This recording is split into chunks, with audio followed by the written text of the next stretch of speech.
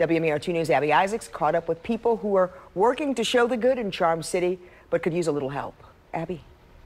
One of the things I've heard time and time again in both talking with people from crime-ridden areas and council members is that there needs to be more economic opportunities for the city's youth to give them a path off the streets. There are already a lot of people doing that kind of work, and they hope the national spotlight from Trump's tweets will bring in more investment so they can reach more kids.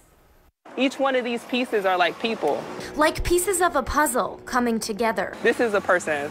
This is a culture. This is a language. So too are the people of Baltimore. We are not one neighborhood. We are many faces, one Baltimore.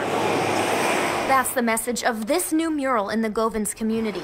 Though coincidental in timing, artist S. Rashim says the message couldn't be more important after the president's recent tweets about Charm City. This is to say, yeah, Baltimore has some challenges. We're grappling with a lot as a city, but there are still people doing good work. There are still youth trying hard. The students helping her out I did this whole shirt on this mural. are hired by the Baltimore Office of Promotion and the Arts through YouthWorks. I feel great actually because it, it, it looks nice.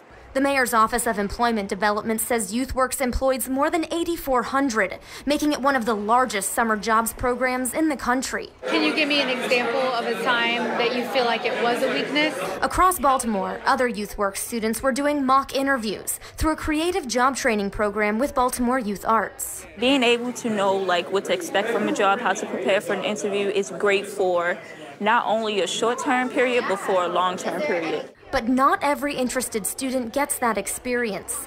This summer, there were 2,600 applicants who did not get offered jobs. If they are willing to work, then they should have a place to work. Because now the question is, where are those people, you know, for the rest of the summer? The office says more funding would help. Rashim hopes the national spotlight now will spark that investment. Find the people who are working to make it a better place, work with them to make it a better place, and move forward. There are a total of four murals that the Art at Work students are finishing up. They'll be done on Friday, and the one we were at today is on Woodbourne Avenue off York Road.